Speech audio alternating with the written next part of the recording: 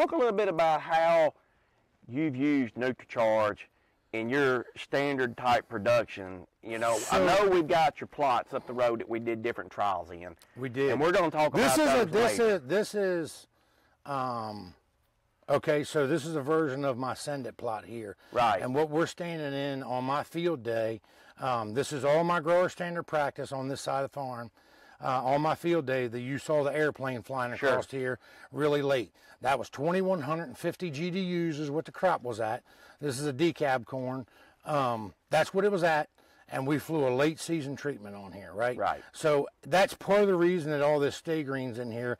But we ended up so you asked about NutriCharge and how I use it. So on this particular field in this plot, um, it had NutriCharge release or NutriCharge at 3.2 ounces in furrow.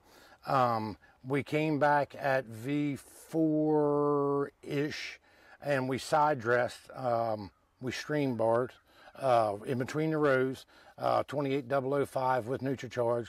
And then we came back two more times throughout the season and we Y-dropped. And in all those Y-drop passes, we had 6.4 ounces of NutriCharge.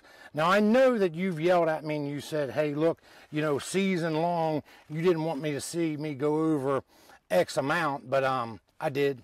I usually Well, do. I mean, but but here, keep in mind, you know, we're driving this phosphorus into this plant, and I'm asking this plant to have all this energy. Right. I can't do it without that.